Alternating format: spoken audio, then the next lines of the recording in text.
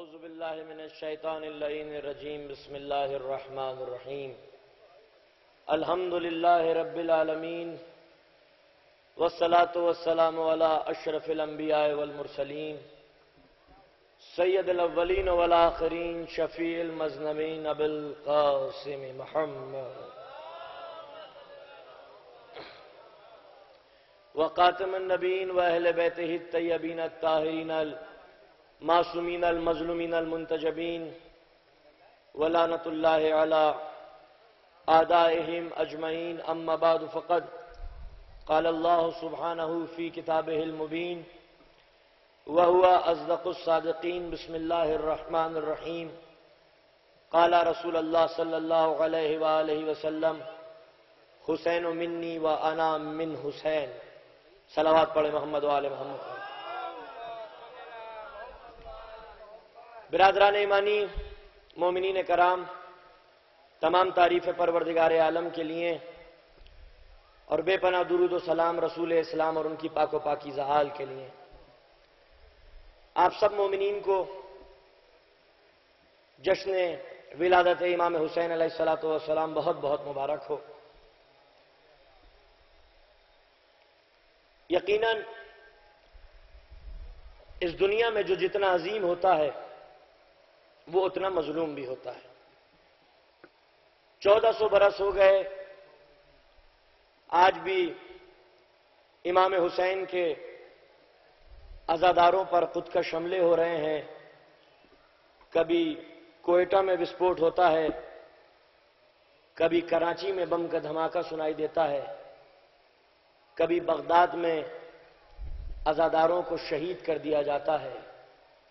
मनफी ताकत वाले और बातिल हुकूमत वाले ये समझते हैं कि बम के धमाकों से आजादारी को और आजादारों को रोका जा सकता है, मगर ये लोग नहीं जानते कि हुसैन का सच्चा आजादार होता ही वो है, जिसके लहू का हर खतरा राह हुसैन में बहने के लिए मुंतजर होता है। आजादार की साँसें जब खुलती हैं, जब वो मौत से पंजा लड़ा लेता है आजादारों को बम के धमाकों से डराना ऐसा है जैसे कोई मछली को यह धमकी दे कि तुझे पानी में डबो दूँगा। ये वो आजादारी है जो तमन्ना फातमा है। ये वो आजादारी है जो आरज़ू जैनब है। न बनी उमैया की हुकूमत इसे रोक सकी है न बनी अब्बासी के मंसूबे इसे रोक सके हैं, न तातारियों की यूरिशे इसे रोक सकी हैं। इसलिए क्योंकि रसूल इस्लाम के मोजे को कुरान कहते हैं, अहले बैत नबूवत के मोजे को अजाय हुसैन कहते हैं। न कुरान जलाने से मिट सका है और न ही आजादारी बम के धमाकों से फना हो सकती है। और आजादारों की शान में मेरे वालिद मरहूम अल्लामा सैयद फिरोज हैदर आबदी साहब ने चंद अशार कहे थे, जो मुझे इस मौके पर याद आ गए, कि फरमाते हैं, जिस्म पे खोले हैं, जख्मों के दरीचे इतने। जहाँ हैरा है, निकले तो कहाँ से निकले। और जिस्म पे हमने सजाई है तबस्सुम की जिरा। जिस्म पे हमने सजाई है तबस्सुम की जिरा। कह दो अब तीरे सितम से के कमा से निकले।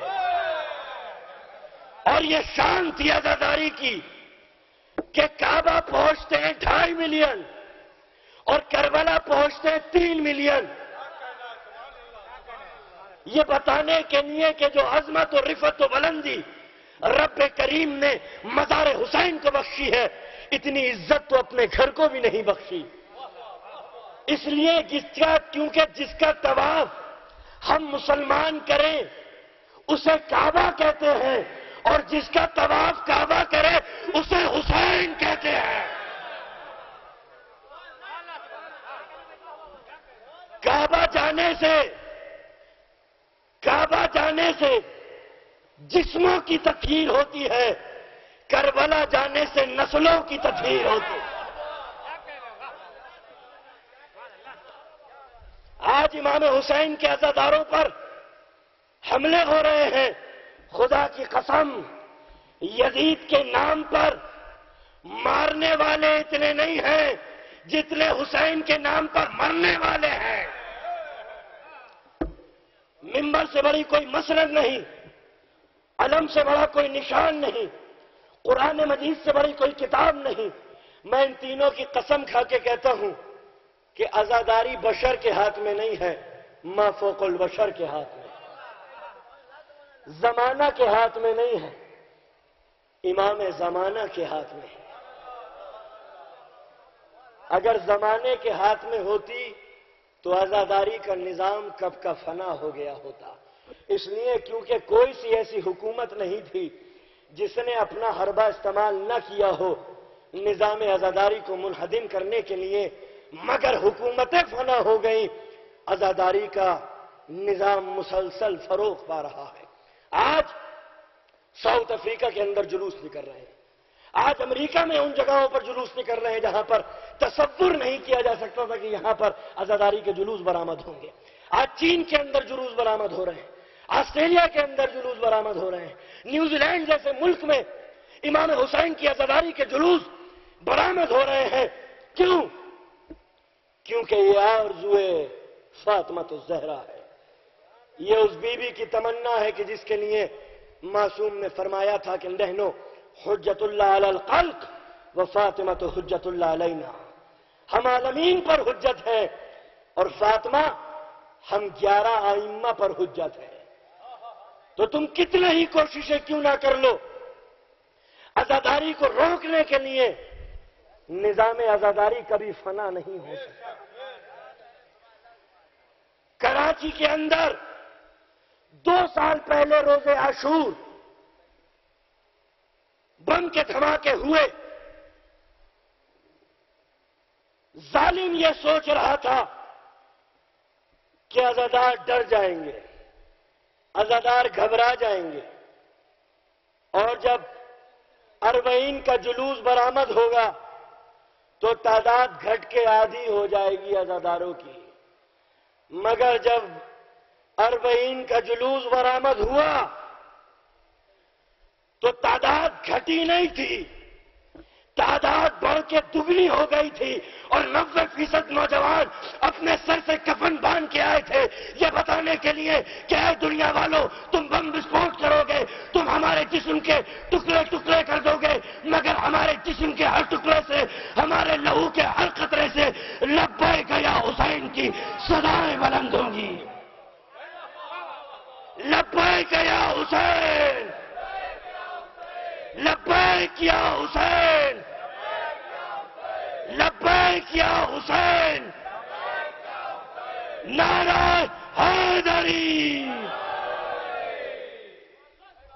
इमाम हुसैन, जिसको रसूल ने अपना बेटा कहा, क्यों अमीरुल मोमिनीन ने भी कभी इनको अपना बेटा नहीं कहा? बल्कि हमेशा यही कहा कि हसन और हुसैन रसूल अल्लाह के बेटे हैं।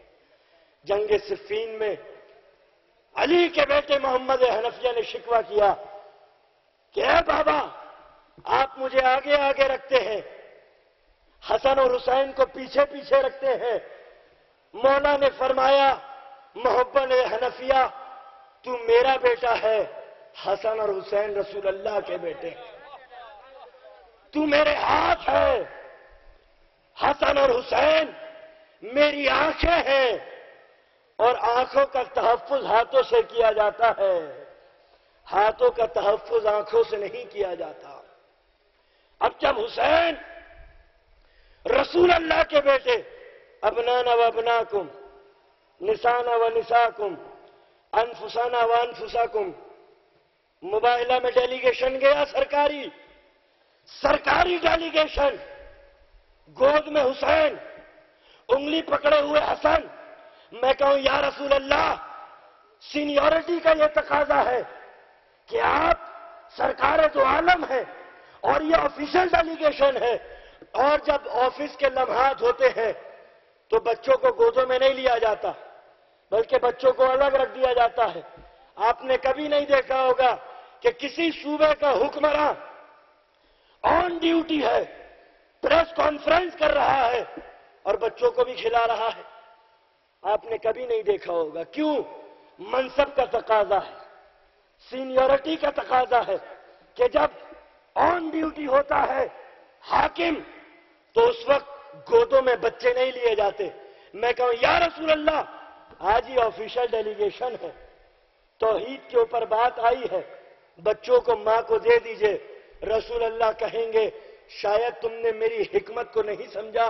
अगर आज मुबाहिला के मैदान में मैं इन बच्चों को माँ की गोद में दे दूँगा तो मोर्रिक का बिका हुआ कलम यही लिखेगा कि बच्चे थे बच्चे तो आ जाया ही करते हैं माओ के साथ। लिहाजा ये बच्चे भी आ गए। लेकिन आज रसूल अल्लाह को बताना था कि दुनिया वालों, हसन और हुसैन को बच्चा मत समझना, ये बच्चे नहीं है तो ही को बचाने वाले सच्चे हैं, सच्चे। बच्चे नहीं है।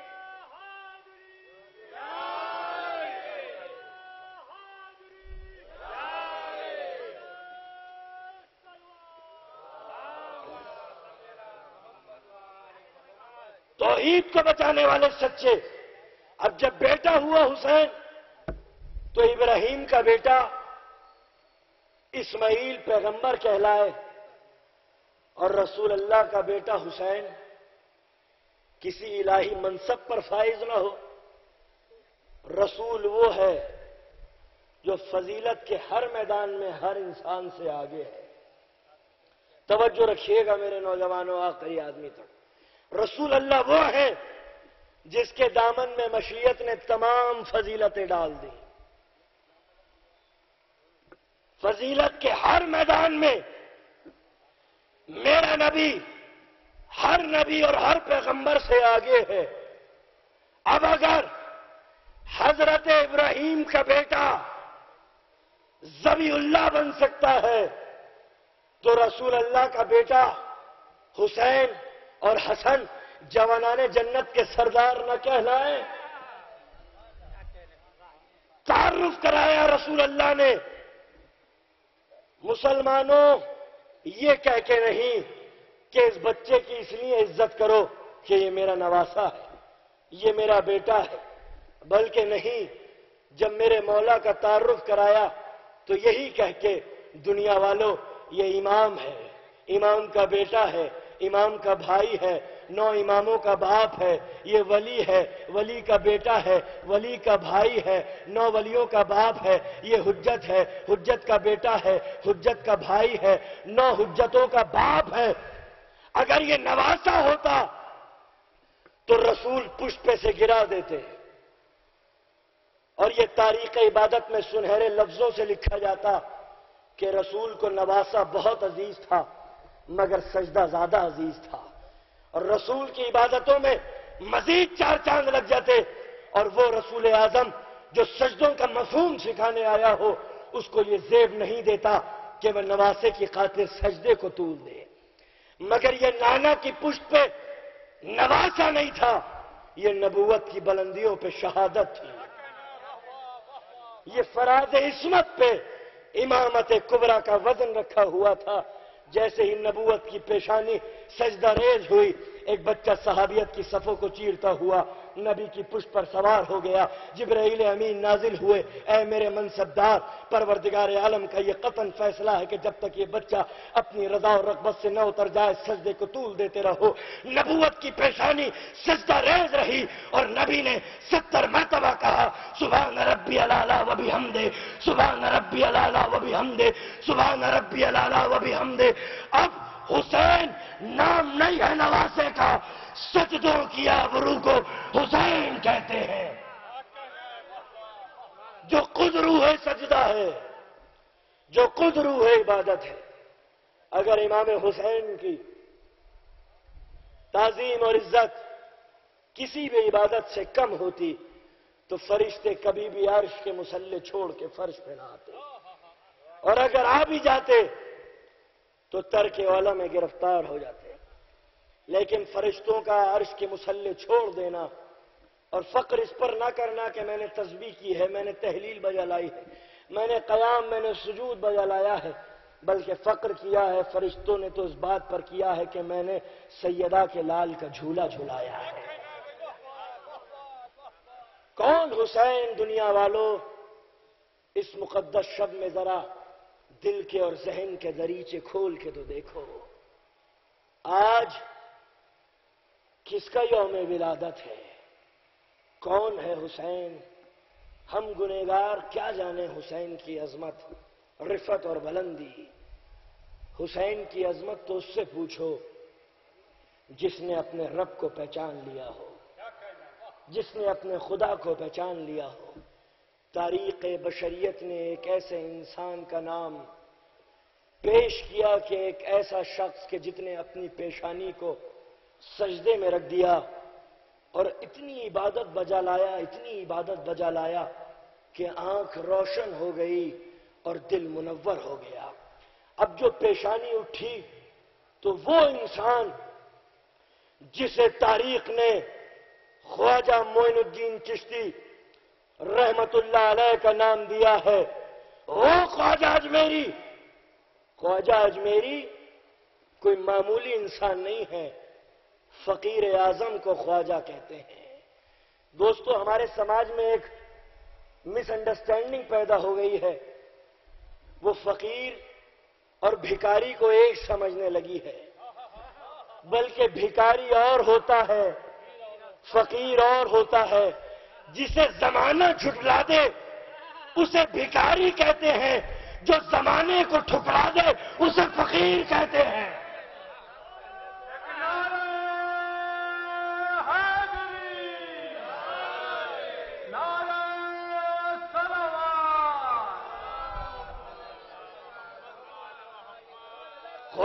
मेरी वो है कि जिसे जमाने ने नहीं ठुकराया, बल्कि जिसने जमाने को ठुकराया है, वो मर्द मोमिन वो आरिफ बिल्ला कि जिसका आँख मुनवर थी और दिल रोशन था, जब उसने अपने तकयुलात में मर्द मोमिन ने, जिसने परवरदिगार आलम की मार्फत हासिल कर रही हो, जब उसने अपने तकयुलात में इमाम हुसैन की ज़ात मुकद्दस को पाया तो एक मरतबा कश्फ शहूद के आलम में कहता है, शाह अस्त हुसैन, बादशाह अस्त हुसैन, दी अस्त हुसैन, दी पना अस्त हुसैन सरदाद नदाद दस्त दर दस्त यजीद हक्का के बिनाए लाइला हुसैन।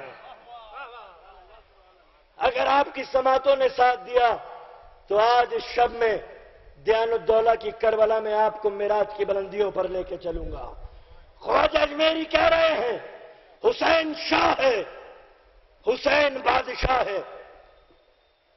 हुसैन दीन है, हुसैन दीन की पनाह है। वो हुसैन, कि जिसने अपना हाथ नहीं दिया यजीद के हाथों में, बल्कि अपना सर दे दिया और तोहीद की बुनियादों को मुस्तहकम कर गए। शोरा कराम यहाँ पर तशरीफ़ फरमा है। पूरे हिंदुस्तान के शोरा आज इस महफिल में मौजूद है। शोरा की तवज्जो चाहूँगा खासतौर से। ख्वाजा ने ये रुबाई कही साढ़े सात सौ साल पहले शाह अस्त हुसैन, बादशाह अस्त हुसैन, शाह कहते हैं उसको कि जिसकी सल्तनत और ममलिकत और इकतदार और हुकूमत आसमान की बेकरार वसतों पर मुहित हो जाए। और बादशाह कहते हैं उस हाकिम को कि जिसके दायरा इकतदार में अर्ज़ के फैले हुए रकबे सिमट जाए। यानी शाह वो कि जिसका इकतदार आसमानों पर, बादशाह वो जिसका इकतदार ज़मीन पर। लेकिन हुजूर इसमें एक अदबी नक्श नज़र आता है, शायरी का तकाजा है, अदबियत का तकाजा है, कि पहले तारुफ होता है छोटी चीज़ का, बाद में तारुफ होता है बड़ी चीज़ का। कोई लखपति करोड़पति ये नहीं कहेगा कि मैं करोड़पति तो हूँ, मैंने एक हज़ार रुपए भी कमाया है।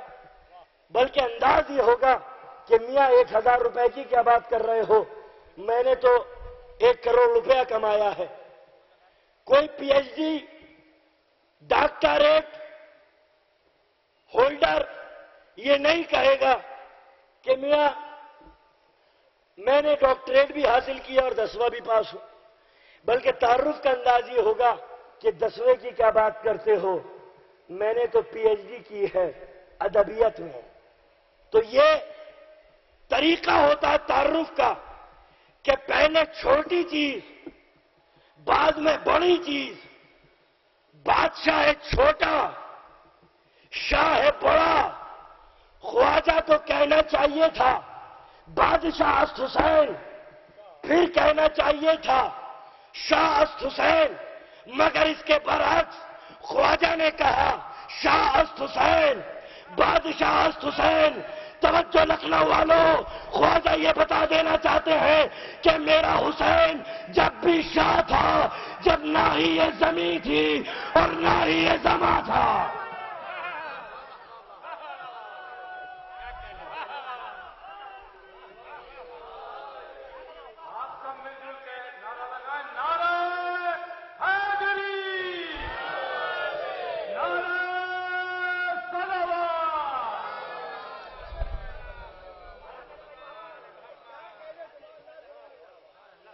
हुसैन वो कि जिसका इकतदार आसमानों पर ख्वाजा अजमेरी के नुकता नज़र से शाह वो जिसका इकतदार जमीनों पर एक फरिश्ता जिसके दिल के अंदर ये तमन्ना पैदा हुई कि क्यों ना कायनात की सरहदों को नाप सकूँ।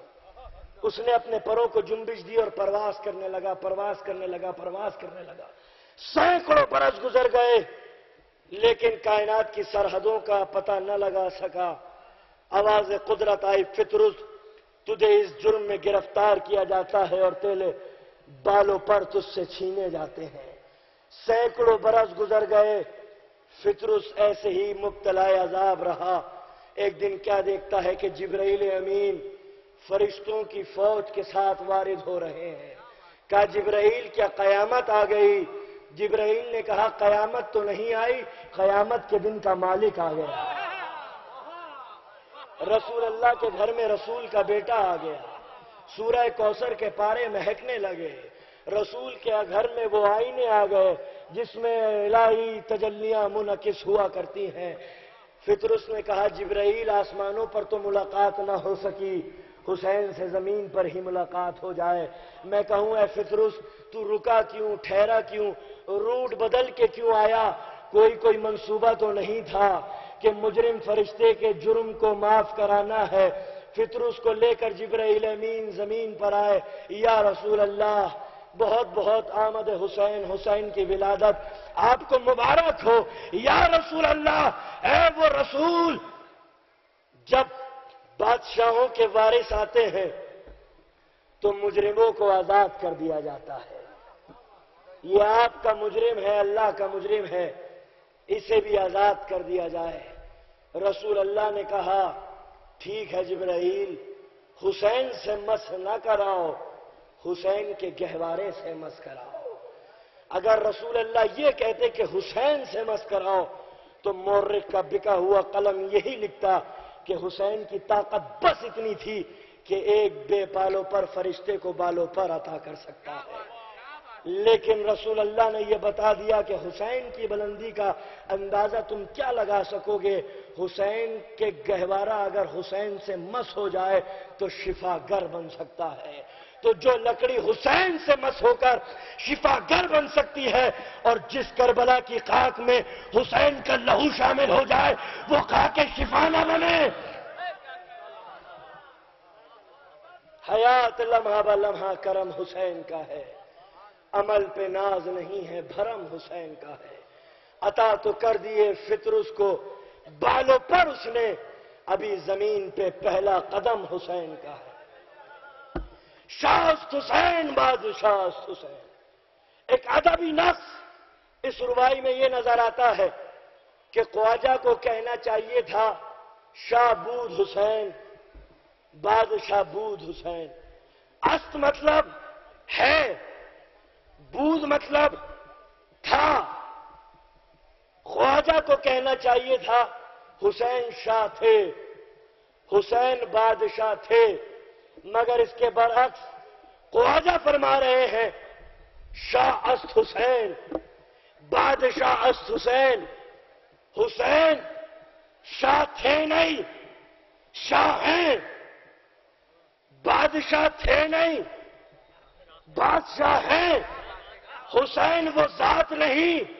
कि जो माजी के सीखों के कफन में लिपट जाए, हुसैन वो जात लाजवाल और अब्दी जात है जो फना का नहीं, बका का पैगाम सुनाती है।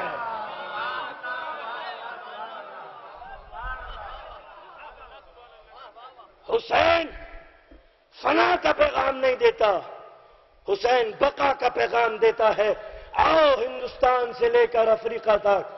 और अफ्रीका के लेके अमेरिका तक देखो इस सदी में जो बड़े बड़े इनकलाब पैदा करने वाले लीडरान गुजरे हैं अफ्रीका के नेल्सन मंडेला से लेकर अमेरिका के मार्टिन लूथर किंग जूनियर तक, उनका इंटरव्यू लो और उनसे पूछो कि तुमने जो ये तहरीक का आगाज़ किया, तुम जो ये इनकलाब लेके आए, तुम कहाँ से लेके आए? तो अफ्रीका के मार्टिन लूथर से लेकर, अमरीका के मार्टिन लूथर किंग जूनियर से लेकर, अफ्रीका के नेल्सन मंडेला तक तमाम लीडरान यही कहते हुए नज़र आएँगे कि हम गांधी से मुतासर हैं, हम गांधी से मुतासर हैं, हम हिंदुस्तान के महात्मा गांधी से मुतासर हैं। अब आओ, हिंदुस्तान के महात्मा गांधी से पूछो कि हिंदुस्तान के है महात्मा गांधी, तुम किससे मुतासर हो? तो हिंदुस्तान के महात्मा गांधी कहते हुए नज़र आएँगे कि मैं हुसैन इब्न अली से मुतासर हूँ। और उसकी दलील यह है कि हुसैन करबला में बहत्तर साथियों को लेके गए थे। मैंने भी जब सत्याग्रह सॉल्ट मार्च की तो बहत्तर साथियों को लेके गया। यह बताने के लिए कि हुसैन का इनकलाब बहत्तर को ले जाकर लाजवाल बन जाता है। मेरा तहरीक आज़ादी हिंद भी बहत्तर को ले जाकर लाजवाल और अब्दी कहलाएगा।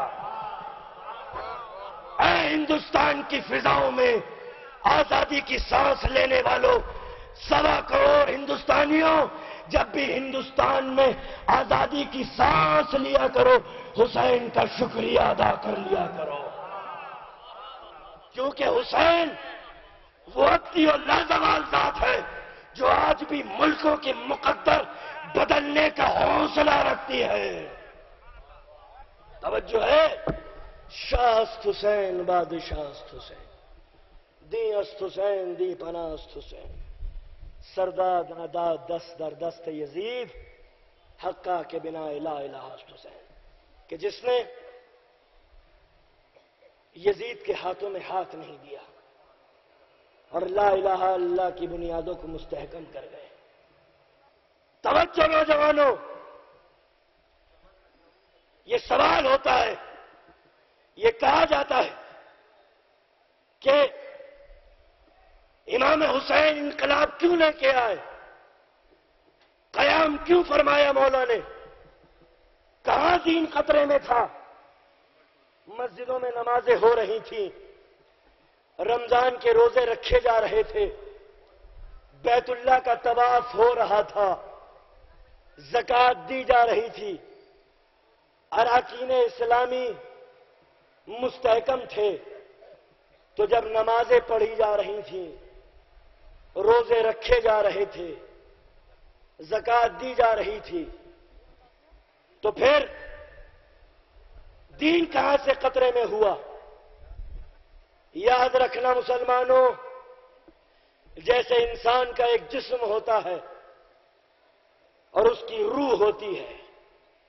ऐसे ही इस्लाम का एक जिस्म है, इस्लाम की एक रूह है। तवज्जो है ना?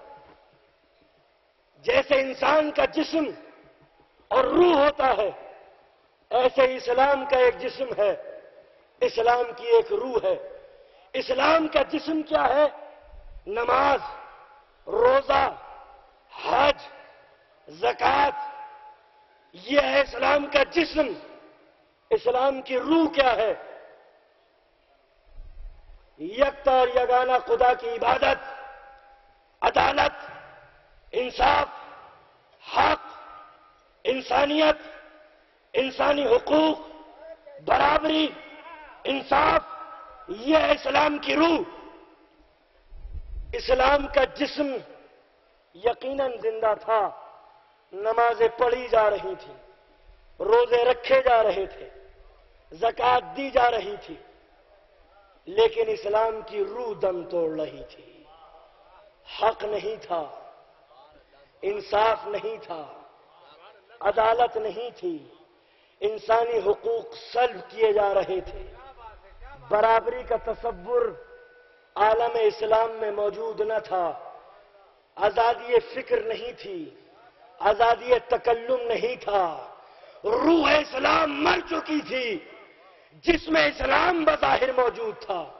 और जब रूह निकल जाती है तो जिस्म किसी काम का नहीं रहता। उस दौर में रूह मर गई थी। जिस्म ज़िंदा था। सजदों से खींचता था जो मस्जूद की तरफ़, वाहिद जो एक इशारा था महबूद की तरफ़, जिसकी नज़र पे शेवाए हक का मदार था, जो रूह इनकलाब का परवरदिगार था।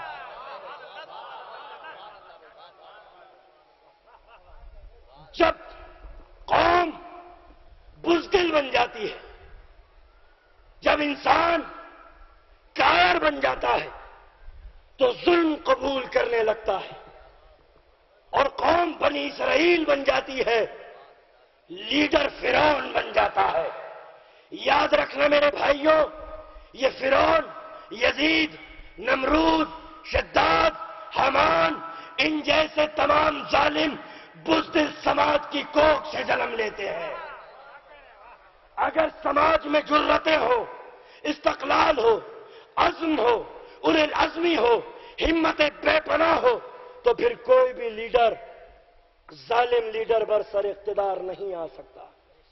ये कौम की खामोशी जालिमों को बरसर इकतदार तक लेके आती है। अगर कौम हक कबूल कर लेती है तो हक फैल जाता है। जुल्म कबूल कर लेती है तो जुल्म फैल जाता है। आज हिंदुस्तान में क्या हो रहा है? मुसलमान सुन हो चुके हैं, इम्यून हो चुके हैं। एक मिसाल मैं आपके सामने पेश करता हूँ। चंद दिन पहले ये पता चला कि 2001 में जो अक्षरधाम मंदिर के ऊपर हमला हुआ था, उसमें जो मुलजमीन थे वो 10 साल बाद कैद बामशक्कत के बाद बाइज्जत बरी कर दिए गए। सबने पढ़ा होगा, सुना होगा। हालाँकि न इलेक्ट्रॉनिक मीडिया ने बताया, न मेन स्ट्रीम अखबारों ने बताया, मुसलमान मार दिया जाता है पूना के अंदर। कोई एहतजाज नहीं, कोई प्रोटेस्ट नहीं। क्या मतलब? जमीर अब मुर्दा हो चुके हैं। जुल्म कबूल करने लगते हैं। क्या हो गया हम लोगों को? हिंदुस्तान के मुसलमानों को? अब भी व्रत हासिल नहीं करेंगे तो कब करेंगे? तीन करोड़ मुसलमान उत्तर प्रदेश के अंदर एक अपना नुमाइंदा पार्लियामेंट में नहीं भेज सके। कम से कम मुसलमानों को चाहिए था कि जब मीडिया ने नहीं दिखाया अखबारों ने कवर नहीं किया तो सड़कों पर आकर एहतजाज की आवाज़ बुलंद करते कि आखिर हिंदुस्तान के अंदर ये सौतेला बर्ताव मुसलमानों से क्यों किया जा रहा है?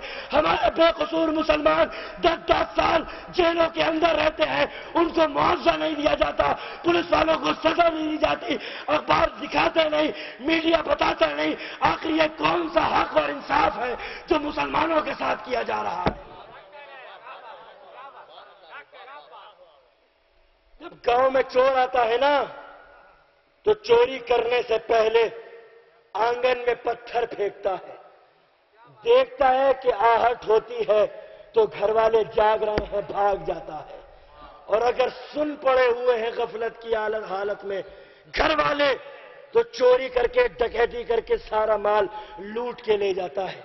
ये इस तरह के जितने भी वाकयात हैं, चाहे वो इस तरह के दहशतगर्दी के इल्ज़ाम में बेकसूर मुसलमानों को जेल की सलाखों के पीछे रखा जाता हो या फिर स, स, वो और तस्लीमा नसरीन जैसी औरतें जो किताबें लिखती हैं रसूल अल्लाह की तोहन करती हैं ये हमला नहीं है ये चोरी नहीं है। ये डकैती नहीं है। ये आलम इस्लाम के सहन में आँगन फेंका, पत्थर फेंका गया है। ये देखने के लिए कि मुसलमान ज़िंदा है या जमीर मुर्दा हो चुके हैं। जुल्म की इम्तिहा इससे ज़्यादा नहीं हो सकती कि तुम पे जुल्म भी किया जाए और तुम्हें आहें भरने का वक्त भी ना दिया जाए कि तुम पे जुल्म हो रहा है। और कमाल यह है कि मजलूम को यह तक ना पता चले कि हम पे जुल्म किया जा रहा है। वही दौर था इमाम हुसैन का वक्त, जब लोगों ने जुल्म को कबूल कर लिया था। अमर बिल मारूफ और नहीं अनल मुनकर करना छोड़ दिया था। नू का तूफ़ान आया तो अच्छे भी गरकयाब हुए, बुरे भी गरकयाब हुए। सादिक आल मोहम्मद ने इबरत के लिए, तुम लोगों के लिए कहा, देखो, अच्छे जो थे ना, उन पे अजाब इसलिए आया क्योंकि वो जुल्म देखकर खामोश रहा करते थे। साले नबी की ऊंटनी के पैर चार लोगों ने काटे थे, मगर अजाब पूरी कौम पर आया। इसलिए क्योंकि जालिम तो जालिम था ही, जो अच्छे लोग थे, वो जुल्म होते हुए देखकर खामोश रहा करते थे। पढ़ो अमीर मोमिन की वसीयत नेतुल बलागा के अंदर, ऐ लोगों अगर तुमने अमर बिल मारूफ और नहीं अनल मुनकर छोड़ दिया तो अल्लाह तुम्हारे ऊपर किसी जाबिर सुल्तान को मुसलत कर देगा। जो ना तुम्हारे बूढ़ों का एहतराम करेंगे, न तुम्हारे बच्चों पर रहम खाएँगे।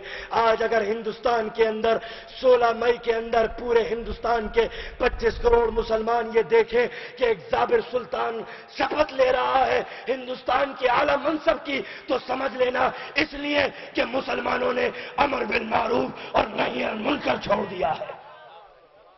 इसीलिए अल्लाह ने जाबिर सुल्तानों को उनके ऊपर मुसलत कर दिया है। इमाम हुसैन इसी हुर्रियत के लिए आए थे। इमाम हुसैन इसी आज़ादी के लिए आए थे। इमाम हुसैन की आवाज़ इसी हक और अदालत और इंसाफ और इंसानी हकूक की खातिर उठी थी।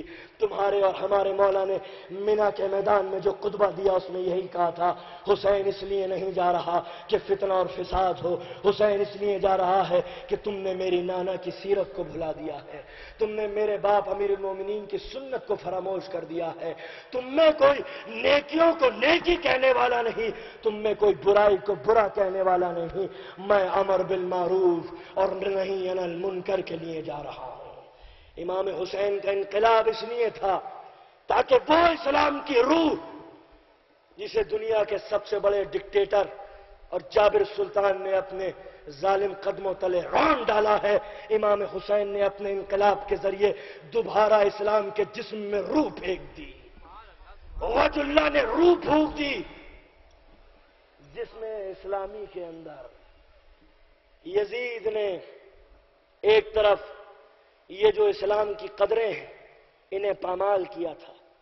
दूसरी तरफ़ ये चाहता था कि नबूवत का तस्वुर रहे, नबी का नाम बाकी ना रहे, इमामत का तस्वुर रहे, इमामों का नाम बाकी ना रहे। इमाम कहलाऊं मैं और रसूल अल्लाह कहलाए मेरा दादा। यजीद की मंशा ये थी कि शरीयत को तो बदल ही दिया है, समाज को तो दबा ही दिया है। अब जो तस्वुरात इस्लामी है, उसे मस कर दो। नबूत का तस्वुर रहे, नबी मेरा दादा कहला है इमामत और विलायत का तस्वुर रहे, वली और इमाम मैं कहलाऊं। यह अगड़ा इसी बात का तो होता इमाम हुसैन का, कि जो मैं कह रहा हूँ वो शरीयत है। जो मैं कह रहा हूँ वो शरीयत है। इमाम ने यजीद के वो ताकत छीन ली कि जिस ताकत के ज़रिए वो शरीयत मोहम्मदी को पमाल कर रहा था। अपनी ख्वाहिशात और मुनहविस तमन्नाओं को शरीयत इस्लामी में दाखिल कर रहा था। हमें पता कैसे चला कि यजीद रसूल अल्लाह के नाम को दीन से निकाल देना चाहता था। याद रखिए, करबला के बाद आले रसूल यही कहते हुए सुनाई देते हैं, बता यजीद कौन जीता, कौन हारा? कौन जीता, कौन हारा? कौन जीता, कौन हारा?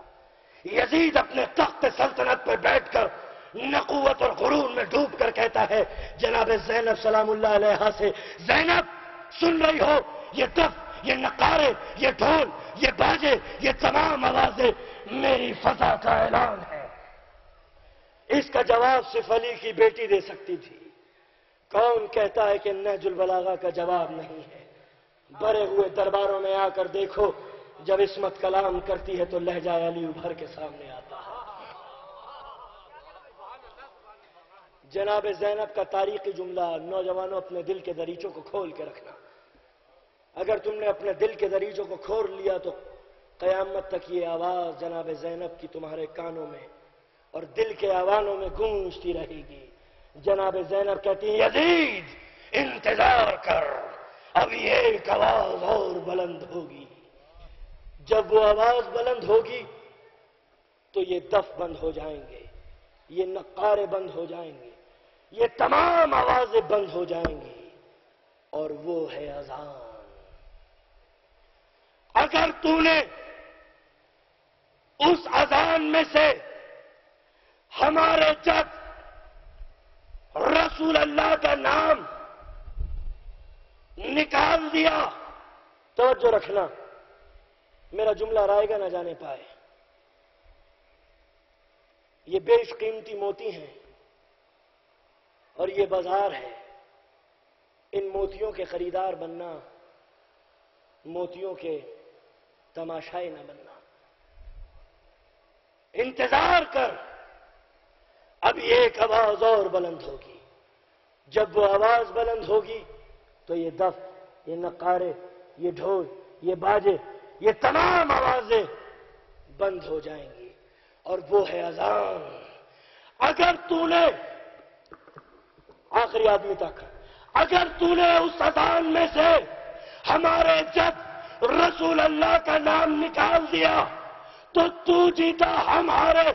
लेकिन अगर मोहसिन कहे अशद मोहम्मद रसूल अल्लाह तो हिंदा के बेटे, हम जीते हैं, तू हारा है।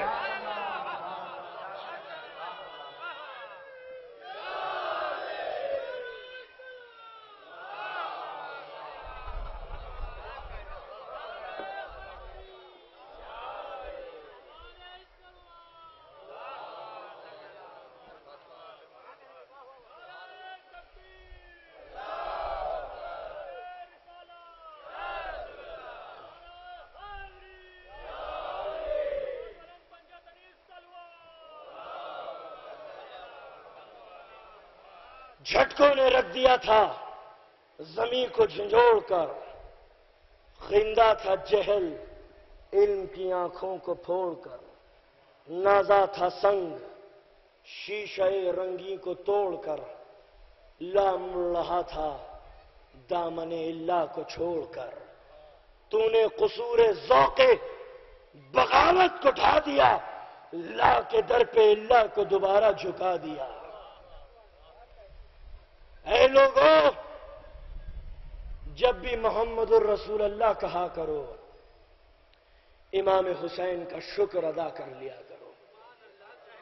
सलाम हो उस हुसैन आज़म पर कि करबला में जिसकी कुर्बानी मोहम्मद रसूल अल्लाह की रिसालत के लिए अवधि पैगाम बन गई, हुसैन मिन्नी वाना मिन हुसैन। हुसैन मुझसे है और मेरी रिसालत हुसैन से है। दोस्तों, हमारे ऊपर ज़िम्मेदारी यह है कि परवरदिगार आलम ने इस मकतब को जो शान और शौकत बख्शी, वो शान और शौकत इस मकतब की हम बरकरार रहे और इस मकतब के लिए सबब फ़क्र बने, सबब जिल्लत ना बने। मैं अक्सर ये जुमला कहा करता हूँ लखनऊ के अंदर कि आज़ादारी शियों की जागीर नहीं है, आलम बशरियत का सरमाया है। लेकिन क्योंकि अल्लाह ने हमें विलायत अहल बैत पर पैदा किया है तो ये हमारी ज़िम्मेदारी है कि आज़ादारी को वहाँ तक ले जाएँ जहाँ तक ये आज़ादारी नहीं पहुँची। इमाम हुसैन के पैगाम को वहाँ तक ले जाएँ जहाँ तक ये पैगाम नहीं पहुँचा है। हम ये चाहते हैं कि इमाम हुसैन की जो आज़ादारी थी, वो शियों के लिए नहीं थी, किसी एक फिरके के लिए नहीं थी, बल्कि आपकी कुर्बानी, हक और इंसाफ, अदालत जैसे मुकदस उसूलों के लिए थी। लिहाजा वो इंसान जो हक और इंसाफ के जैसे मुकदस असूलों पर यकीन रखता है, उसके लिए ज़रूरी है कि इमाम हुसैन की आज़ादारी के फ़राइज बजा लाए। इसलिए क्योंकि इमाम हुसैन की आज़ादारी आलम बशरियत की फलाह और बहबूद के लिए थी, लिहाजा हमें इस आज़ादारी को गैर कौमों तक लेकर जाना है। करना क्या है? मैंने एक तंजीम कायम की है। मैं आप नौजवानों से चाहता हूँ कि ज़्यादा से ज़्यादा वॉलेंटियर उसमें शामिल हो। हम काम क्या करेंगे? हम आजादारी को गैर कौमों तक लेके जाएँगे।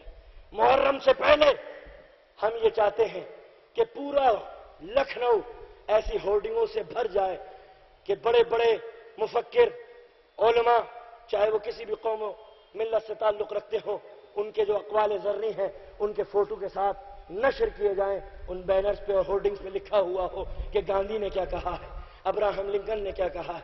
फुला ने क्या है? और जितनी भी कौमें हैं, उनके जो बड़े बड़े ओलमा हैं, उनके कौल, उनसे पूछा जाए कि आप इमाम हुसैन के बारे में क्या सोचते हैं? चाहे वो हिंदू हो, चाहे वो देवबंदी हो, चाहे वो बरेलवी हो, चाहे वो ईसाई हो, चाहे वो सरदार हो, चाहे वो पारसी हो, या फिर किसी मज़हब का मानने वाला ही क्यों ना हो? मार्क्सिस्ट ही क्यों ना हो? इमाम हुसैन के बारे में क्या सोचता है? इसलिए ताकि जो उनके मानने वाले हैं, जब वो देखें कि हमारे पेशवा ने इमाम हुसैन के लिए कहा है तो वो कितनी अजीम शख्सियत होगी। और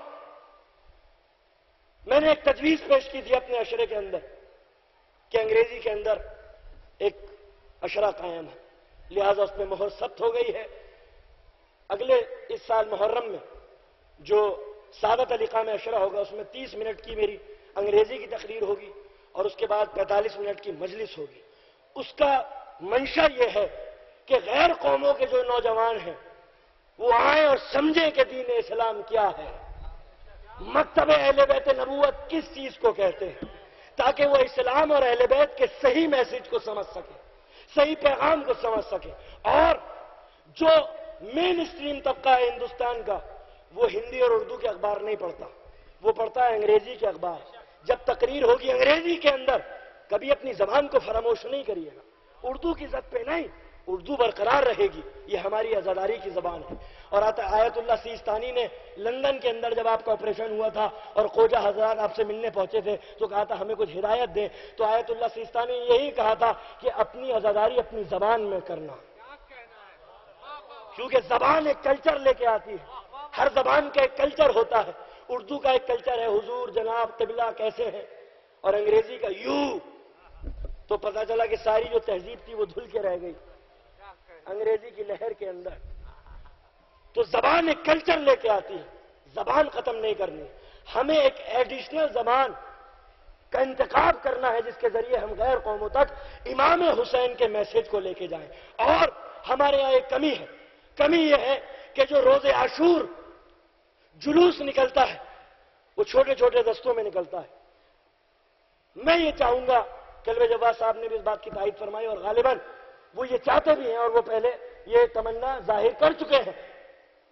हज़रत मौलाना कलवे जवाब साहब किबला, के आशूर का मकसद ये है कि इमाम हुसैन का जुलूस एक साथ बरामद हो।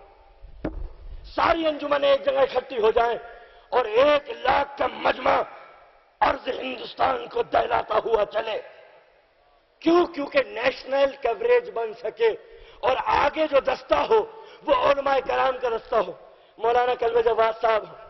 रवि रवि शंकर हो, ईसाइयों का एक बड़ा पादरी हो, सरदारों का एक बड़ा रहनुमा हो, जब ये सारे उलमाए कराम या हुसैन या हुसैन कहते हुए जाएँगे और नेशनल कवरेज बनेगी तो फिर उस शेर की तफसीर होगी कि हर हर कौन पुकारेगी? हमारे हैं हुसैन।